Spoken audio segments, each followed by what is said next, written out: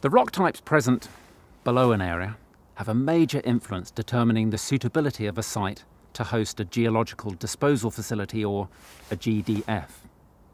The host rocks in which a GDF will be constructed need to have little or no groundwater movement through them. They need also to have properties that allow for the construction of tunnels and caverns.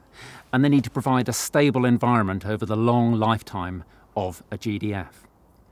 Based on work in the UK and overseas, we have identified three broad types of host rock.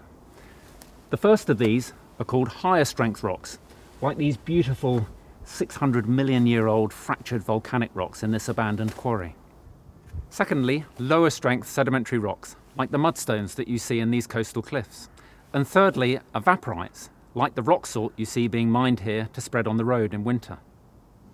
Now, the rocks that surround and cover a host rock are also potentially an important part of the geological barrier separating a GDF from the surface. And the nature of these cover rocks can make a significant contribution to the safety of a potential GDF site. For example, where clay-rich mudstone rocks overlie a host rock, they separate deep groundwaters from the surface, and they can slow down the movement of radioactive material away from the GDF should any be released over the thousands of years during which it would need to provide containment.